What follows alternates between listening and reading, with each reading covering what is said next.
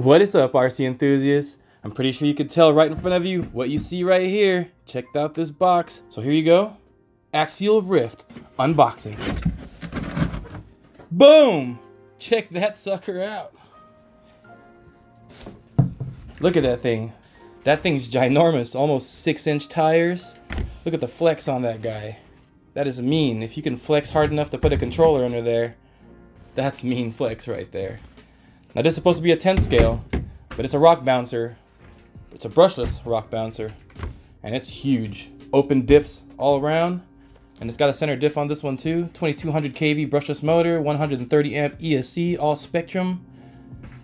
So really, really good setup right here, and from what I've been seeing on this thing, man, this thing looks like it's a blast.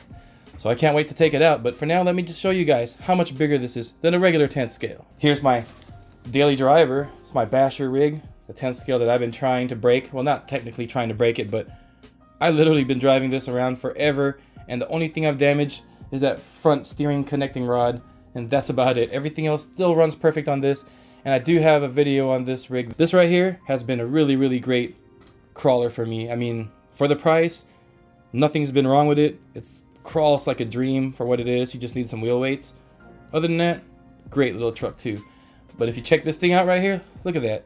This thing sits pretty much as high as a 10 scale crawler, and this is 10 scale too, but a lot more ground clearance in the belly, big giant tires, and of course those giant shocks right there. So that gives it its rock bouncing abilities and absorb anything you can throw at it, hopefully. And that's a DX3 that it comes with right there, the Spektrum DX3. Just DX3 right there. That's the third channel switch right there. You have AVC, you turn it off and turn it up. Then you got brake rate. I don't know, I don't I don't notice a difference between the drag brake when I turn it up and down. And you got your steering and throttle trims. And you got your limiter down here. Let me move the tire out of the way. Well, there's your 50%, 75% limit, 100%, throttle reversing and normal, steering reversing and normal. And you see those four little lights right there where it says smart battery level. Those four little dots are there to tell you your battery level if you're using a smart battery. So you have to be using a smart compatible battery. If not, you could just use a EC5 battery to connect onto here.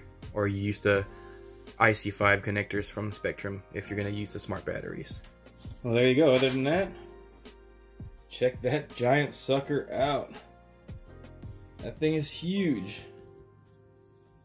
Believe it's 5.9 something, so it's a 6 inch tire pretty much, and it's a Super Swamper TSL bogger that's already been, you know, pre-modified from the factory, so it looks like a cut bogger. Pretty cool. And you have your metal axle cover right there. It's also a bearing holder. Your Spektrum S614S waterproof servo.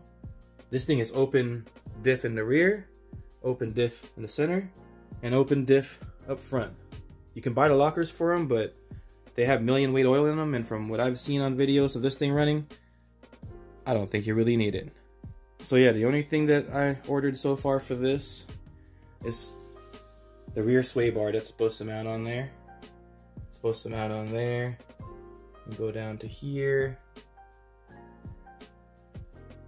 So yeah, that's, that's the only thing I ordered. Because, you know, sway bar, you're definitely going to want that. Because the torque twist, you see the torque twist in all the videos on this thing. Man, what a rig, guys. Look at that. Look at the detail. Driver, passenger. Oh yeah, and the 130 amp Spektrum ESC right here. That's poking out. Looking all pimp up there. The drive the passenger's got a navigation screen. So yeah, man, really, really nice rig. I was going into the store to buy a Super Baja Rey, and I thought to myself, well, aren't you into this crawler scene right now and rock hoppers and whatnot? Might as well get myself one of these. And when I found out it was brushless, I was sold pretty much. Just take a look at it from the back here. There's your on and off switch right there. It's mounted onto the transmission. It's pretty dark so we can't see the transmission back there, but it's it's there. Here's that fake fuel cell that you could actually open up and put weights in here, or you could probably put like a light controller or something if you want to put lights on this thing. Long beefy shocks right there. Nice aluminum body with plastic top mounts and collars. But the rest is aluminum with stoppers right there. Now this thing can run 3 or 4S LiPo. And some people have gotten this thing all the way up to 47 miles an hour on 4S, so that's pretty fast for a rock hopper. Insane fast. Oh yeah, check out those faux disc brakes. Don't they look awesome? They actually do spin too. That's awesome. And they say axial on them. I'm not sure if I can get that in there, but that caliper actually says axial on it. Now I heard these axles are problematic, but you know, I don't ever plan to really do 4S on this. Maybe I'll try it one time, but for now, even on my test drive, I'm going to do only 3S on this thing because this is my personal rig and I like it and I want to try to keep it as nice as possible. So I'm not really going to bash it too hard. I mean, of course I'm going to do rock bouncing with it, but I'm not going to purposely try to send it hardcore just to break it. But yeah, we'll go ahead and check out the running video on this. Hopefully it's fun. And let's see how this thing rocks. The rocks. Check it out, guys.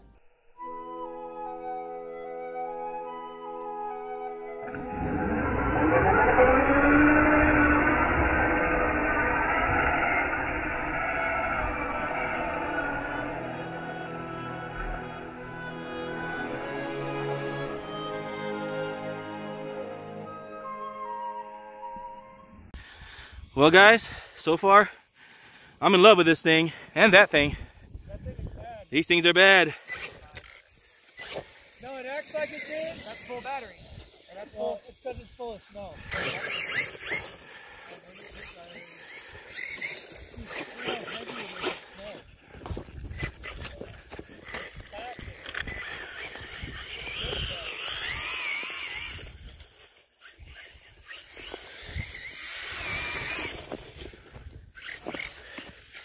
Roll over. Oh no, wait, you know what? I don't know if I want to get this dirty right now. I don't know. I'll never have to hit that puddle. Wah! Straight on.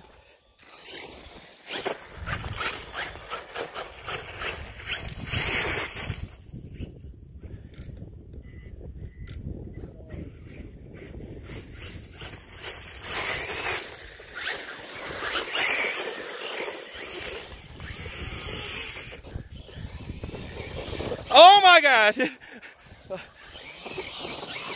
That's how packed this snow was.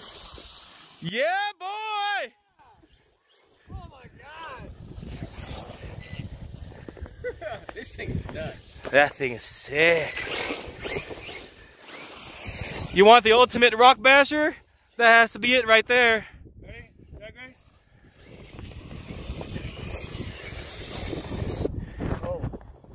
All right. Lifting it up. And Baja Rey. Oh my gosh. Oh yeah, I, I turned it down. I don't want to break the gears. There's no slipper clutch on it.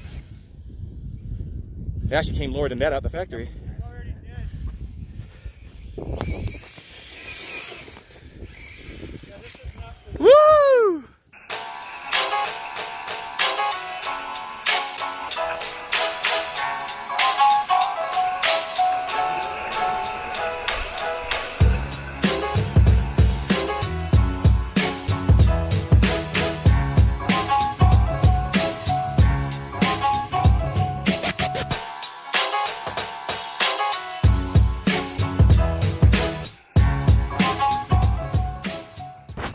Here's the Wraith with an FJ body. Look at that sickness right there.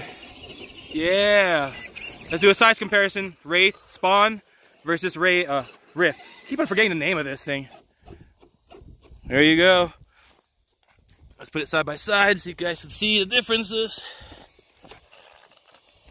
They're pretty close in length. Tire size is definitely bigger on the Ryft. But man, these are both trucks I wouldn't mind owning ever. Look at that custom FJ right there. Rip it time. Haha, nice.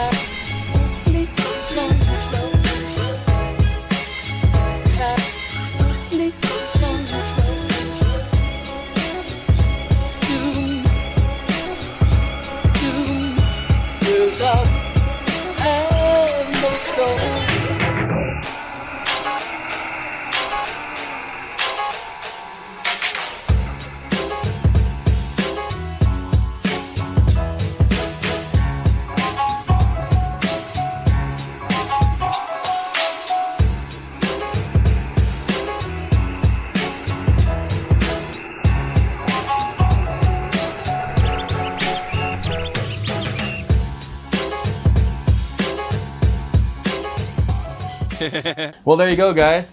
The Axial Ryft. What a sweet rig right here. Sorry I couldn't find any rocks this time. A lot of snow. We just bashed around. It was pretty flat where we were. So on the next run, I promise, I'll give you guys some hill climbs with this thing, hopefully, and some good bash videos. So for now, I do like it. It handled pretty well. It is pretty fun. It did start making like a really, really weird clicking noise, and people said it was like a differential sound. To me, the differential still is kind of smooth, so the sound kind of came from the sides for me, like the maybe the CV shafts, but nothing's broken. Everything still runs smooth, and it only does it at full punch when one of the wheels comes up, and then you when this one gets spinning faster than the others, then you hear like a little clicking. But I've heard it from other videos, so hopefully it's not an issue. If it is, hopefully Horizon will take care of me. They are a really great company, and this is the reason I buy their stuff a lot, especially with their helicopters and planes. I do have a lot of Horizon stuff from them because their customer service is almost second to none. And these things right here, the quality, it's there, man. These things are great. Look how great this thing looks. And you can't go wrong with one of these little suckers. Well, it's not that little compared to that guy right there. That one's next. Well, for now, guys, I appreciate you guys stopping by. As always, be safe out there. And don't forget, go run that RC.